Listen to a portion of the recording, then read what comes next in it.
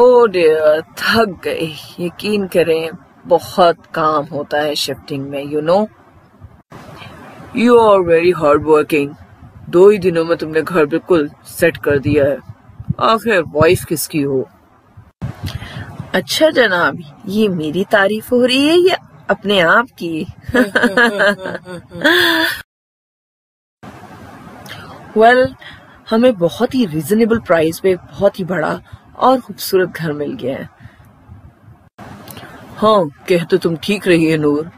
I am lucky because of you really thank you by the way बच्चे कहाँ हैं? Hi mom hi dad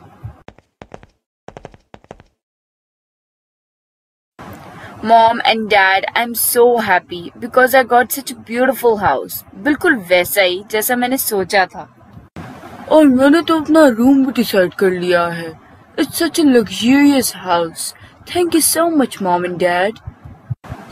एक अजीब सी बात है इस घर के बारे में वो क्या आजान ये बात मैंने तुम लोग को इससे नहीं बताई कि इतना खूबसूरत घर इतना रीजनेबल प्राइस में मिल रहा था लेकिन अब मैं ये समझता हूँ कि तुम लोग के नॉलेज में ये बात होनी चाहिए। जब इस घर के ऑनर से मेरी इस घर के सिलसिले में मीटिंग हो रही थी तो उन्होंने मुझे बताया कि इस घर में एक रीडिंग रूम है। ओ dad reading room I love reading books wait बेटा पहले मेरी पूरी बात तो सुन लो। तो इस घर के ऑनर कह रहे थे कि इस घर में एक रीडिंग रूम है। वो लॉक्ड है और लॉक्ड ही रहेगा। जब मैंने वजह पूछी तो उन्होंने कहा कोई खास वजह नहीं है। अब आपकी मर्ज़ी है आप इस घर को परचेज करना चाहते हैं तो करें नहीं करना चाहते तो ना करें। तो मैंने सोचा एक रूम की ही तो बात है। इतना बड़ा घर है और इतनी रिजनेबल प्राइस में मिल रहा है तो मैंने डन कर दिया। Oh dad that's so sad कुछ दिन तो उनके उस घर में बहुत ही आराम और सुकून के साथ गुजर गए। लेकिन आफ्टर फ्यू वीक्स उस घर में कुछ अननेचुरल चीज़ें होना स्टार्ट हो गई।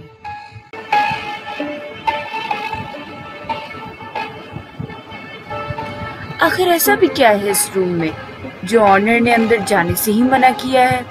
अभी तो सब सो रहे हैं। चलो बेसारा, जाके चेक करते हैं। ओह this is not even locked लेकिन पापा तो बोल रहे थे ये रूम लॉक है।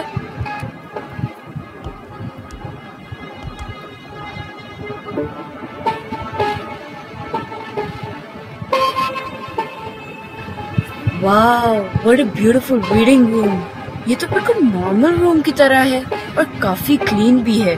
तो फिर क्यों मना किया था ऑनर ने इस कमरे में आने से?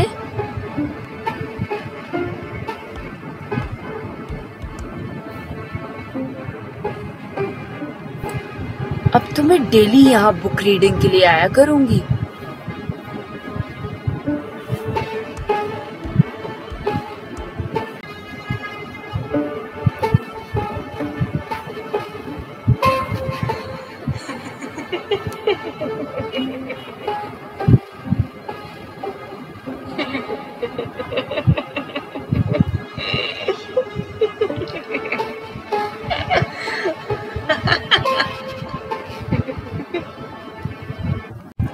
डैड मैं रात को उस रीडिंग रूम में गई थी।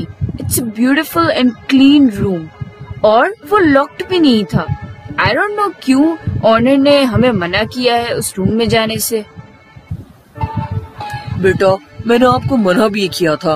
आखिर कोई तो रीजन होगा ना? ओहो पापा आप अभी मेरे साथ चल के उस रूम को देखें। It's completely normal okay okay बेटा। मुझे ऑफ़िस से देर हो रही है। जो करना है करो, ओके?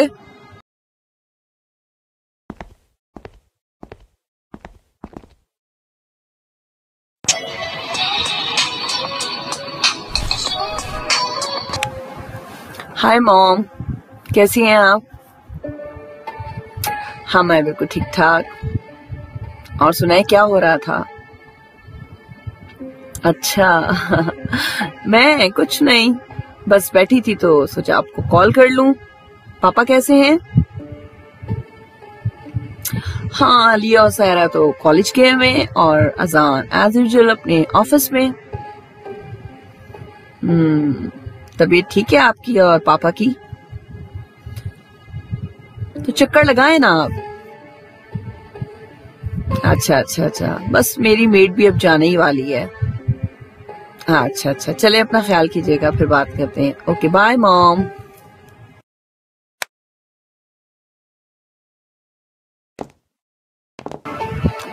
मैम काम हो गया है। अच्छा अब तुम जाओ और डोर को लॉक करके जाना ओके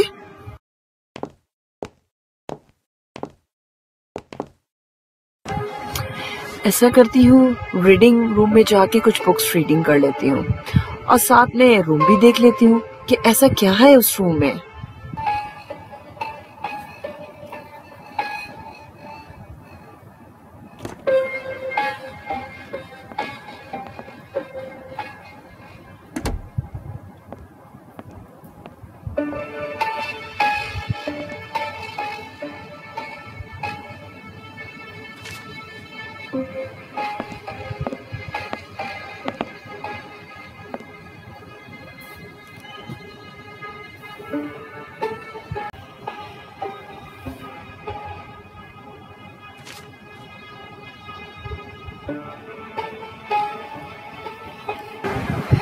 ये लाइट्स को क्या हो रहा है?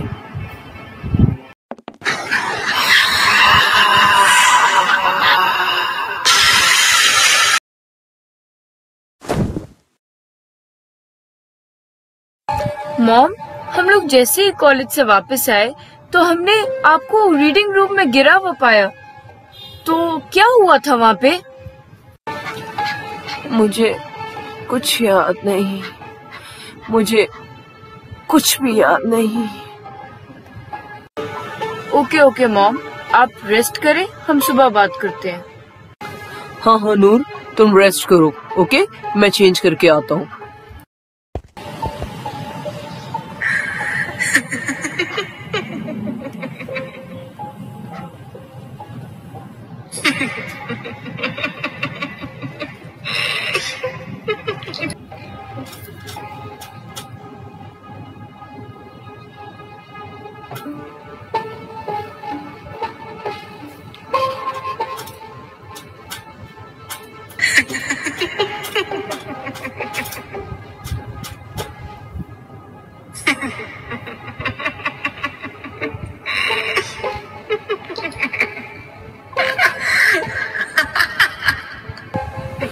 नूर नूर नूर नूर ये क्या हालत बना रखी है तुमने अपनी? और और ये इतना सारा खून कमरे में, ये कहाँ से आया? चलो बेडरूम में चलो।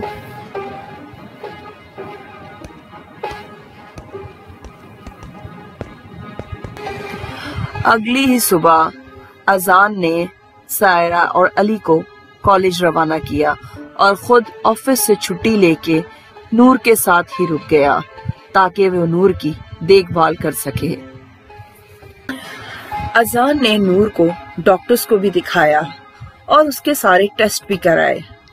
डॉक्टर्स के हिसाब से नूर बिल्कुल नॉर्मल थी, लेकिन अजान ये बात जानता था कि नूर नॉर्मल नहीं है।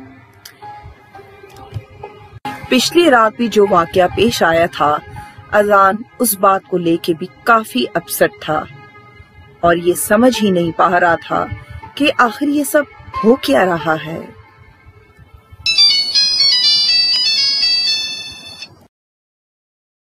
हेलो। हाँ दान कैसा है यार? हाँ मैं भी ठीक हूँ। नहीं यार, नूर की तबीयत ठीक नहीं है। हाँ हाँ सब डॉक्टर्स को दिखाया है, सारे टेस्ट करवाए हैं। डॉक्टर्स के हिसाब से नूर बिल्कुल नॉर्मल है। लेकिन मैं जानता हूँ कि नूर नॉर्मल नहीं है। यार, क्या बताऊँ तुझे? अजीब अजीब सी हरकतें कर रही है। रातों को उठ के बैठ जाती है, कभी दीवारों के पास खड़ी होती है, कभी अपना सर मारती है, कभी अपने आप को हर्ट करती है। कल परसों तो एक अजीब सा वाक्य हुआ। अपने आप को उसने इतना जख्मी कर लिया था कि पूरा कमरा खून से भरा हुआ था। हम्म हाँ हाँ मैं ऑफ़ पे हूँ और नूर के साथ ही हूँ। ओके चल रखते हैं, फिर बात करता हूँ। टेक केयर बाय क्या कर रही हो नूर? पागल हो गई हो? छोड़ो, चलो। मैं तुम लोगों से एक बात शेयर करना चाहता हूँ। ये तो बात तुम लोग जानते हो कि तुम्हारी मामा ठीक नहीं है। लेकिन तुम लोग ये बात नहीं जानते कि वो कुछ दिनों से कुछ अननेचुरल चीज़ें कर रही हैं। Dad what do you mean by unnatural? बेटा तुम्हारी मॉम आधी रात को उठ के बैठ जाती है और कई कई घंटों बैठी रहती है। दीवारों को देखती है कभी कभी अपना सर भी दीवारों के साथ मारती है। कल उसने मुझ पे भी अटैक किया है। और दो रात पहले तो उसने अपने आप को इतना ज़्यादा हर्ट कर लिया था कि पूरा कमरा ही ब्लड से भरा हुआ था। आई एम वेरी अपसेट बेटा. आई एम वेरी अपसेट मैं तुम लोग को इसलिए ये बातें बता रहा हूँ ताकि तुम अपनी मॉम को भी ख्याल रखो और खुद को भी सेफ़ रखो। डैड ये आप क्या कह रहे हैं? मम्मा ऐसा क्यों कर रही हैं? उनको क्या हो गया है? सारा बेटा तुम ब्रेकफास्ट लगाओ मैं तुम्हारी मॉम को लेके आता हूँ। ओह अच्छा हुआ नूर तुम खुद ही आ गई। मैं तुम्हें ब्रेकफास्ट के लिए बुलाने ही आ रहा था। या मॉम ब्रेकफास्ट इज़ रेडी आ जाए मिल के खाते हैं। प्लीज़ डोंट ये क्या कर रही हो नूर? गन को नीचे करो मैं कह रहा हूँ। Don't shoot mom please don't do this mom please please please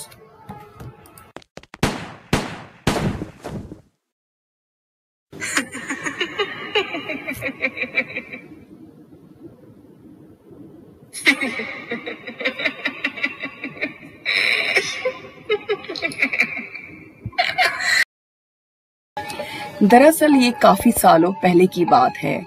Alina और जॉन इसी बैंगलो में रहा करते थे। वो एक दूसरे से बहुत प्यार करते थे। अलीना की पेरेंट्स की एक कार एक्सीडेंट में डेथ हो गई थी और वो अलीना के लिए बेशुमार जायदाद छोड़ गए थे। अलीना और जॉन ने ज़िंदगी के दस खूबसूरत साल एक दूसरे के साथ गुजारे। लेकिन फिर एक दिन जॉन ने अलीना की जायदाद हासिल करने के लिए बैंगलो के रीडिंग रूम में ही अलीना का मर्डर कर दिया।